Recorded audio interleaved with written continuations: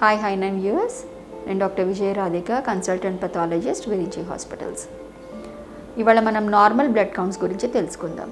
మెయిన్గా ఇంపార్టెంట్గా మనం చూడాల్సింది హిమోగ్లోబిన్ ఎర్ర రక్త కణాలు తెల్ల రక్త కణాలు మరియు ప్లేట్లెట్స్ హిమోగ్లోబిన్ ఈ నార్మల్ కౌంట్స్ అనేవి పురుషుల్లోనూ స్త్రీల్లోనూ డిఫరెంట్గా ఉంటాయి. కొంచెం తేడా ఉంటాయి. అలాగే పెద్దల్లో అడల్ట్స్లో మరియు పీడియాట్రిక్ అంటే చిన్నపిల్లల్లో తేడా ఉంటుంది. వయసుని బట్టి ఈ నార్మల్ కౌంట్స్ కూడా మారుతాయి.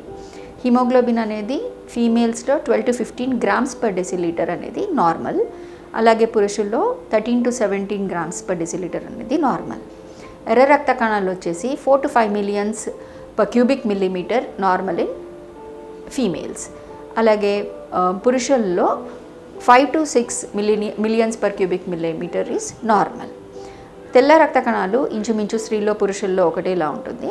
నాలుగు వేల నుంచి పదివేల వరకు పదివేల cells per cubic millimetre normal. Platelets అనేవి వన్ పాయింట్ ఫైవ్ ల్యాక్స్ అంటే ఒకటి పాయింట్ ఐదు లక్షల నుంచి ఫోర్ పాయింట్ ఫైవ్ ల్యాక్స్ వరకు నార్మల్. ఐదర్ స్త్రీల్లో కానీ పురుషుల్లో కానీ అదే అడల్ట్స్లో పిల్లల్లో వచ్చేసరికి కొన్ని తేడాలు ఉంటాయి వాటిని మనం గమనించుకోవాలి. Thank you.